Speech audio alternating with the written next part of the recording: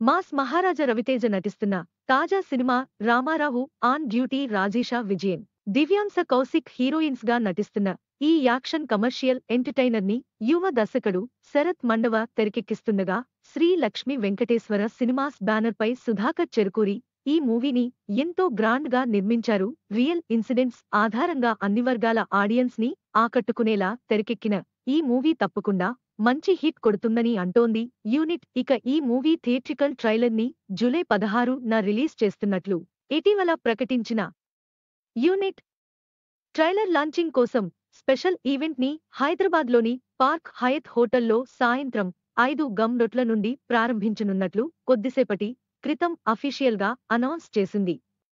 విలక్షణ నటుడు వేణు. సీఏ మురళి పాత్రలో కనిపించనున్న ఈ మూవీలో నాజర్ నరేష్ పవిత్ర లోకేష్ తనికెళ్ళ భరణి రాహుల్ రామకృష్ణ తదితరులు ఇతర పాత్రలు చేస్తుండగా మూవీని జులై ఇరవై తొమ్మిది న రిలీజ్ చేయనున్నారు.